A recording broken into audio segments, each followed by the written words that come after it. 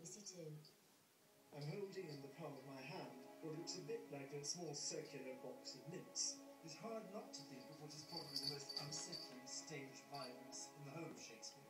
The blinding of Gloucester in King Lear. Out, vile jelly! The inscription tells me it's the right eye of Edward Oldcorne. Shakespeare's restless world